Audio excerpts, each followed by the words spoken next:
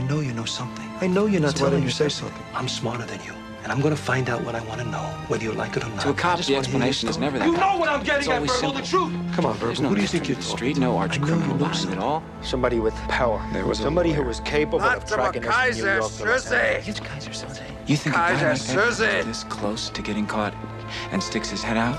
You get no Keyser. from me. Because you're stupid, Verbal. Because you're Keyser a cripple. Soze. What I want to know is who's the gimp. You know, you run the whole fucking time. Keyser Oh, I know Soze. If he comes up for anything, Keyser he's gonna Soze? get rid of me. But I'm sure Keaton is dead. I can't feel my legs. Keyser. First thing I learned on the job, you know what it was? How to spot a murderer. Tell me you got the cripple in there from New York. Yeah. He mentioned Keyser Soze. Who? After that, my guess is you'll never hear from him again.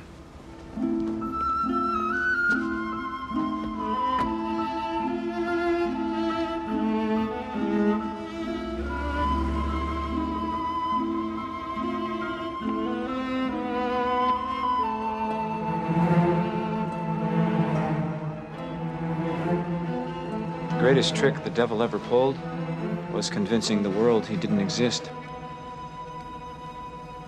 And like that.